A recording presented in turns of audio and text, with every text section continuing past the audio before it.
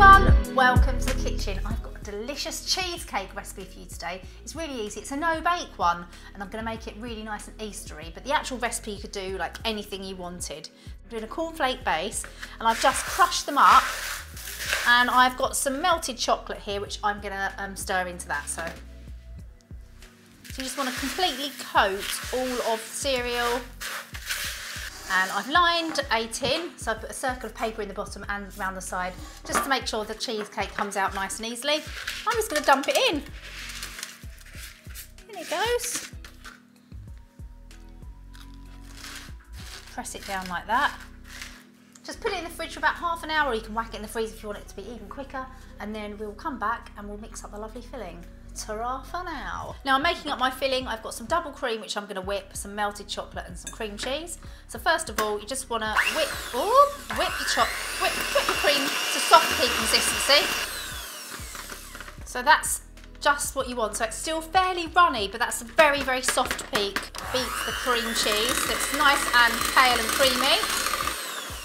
Looking nice and soft. Got a nice heaped tablespoon of icing sugar as well, just to give it a little bit of sweetness.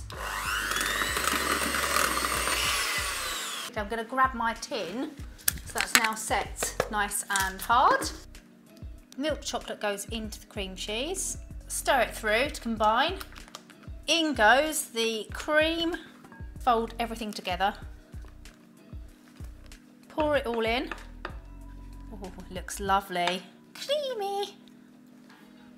Tastes really yummy use a palette knife or if you've only got a spoon, use a spoon. But what I'm doing is just encouraging it out towards the edges. I get a bit obsessed about trying to get it really flat, but basically get it as flat as you can because it is going to have um, a nice kind of white layer on the top so the Easter eggs will pop. And there you have it, a lovely milky cheesecake.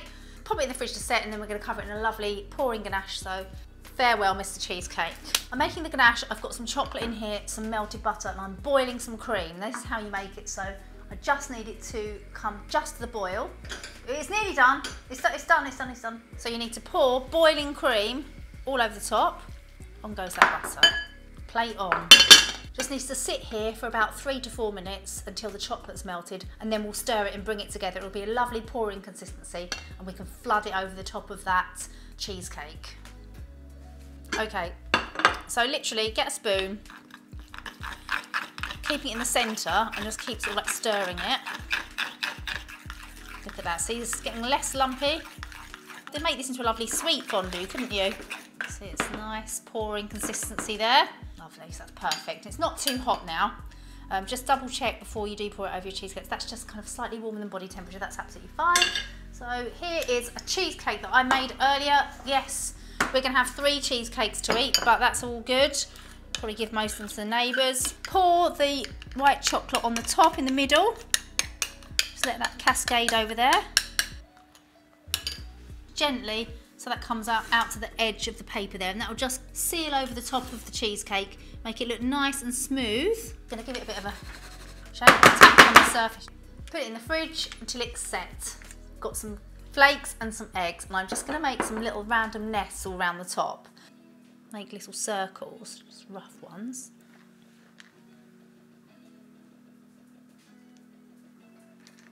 This is really fun. Aw, looks cute, doesn't it?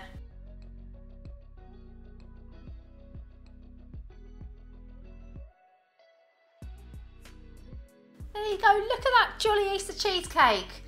Oh, I can't wait to tuck in. I'm not going to break into it now because I'm going to take a nice picture. Everything you need to make this is just down there. Um, if you like the video or even if you didn't, please subscribe because there'll be more videos coming soon. See you later. Bye.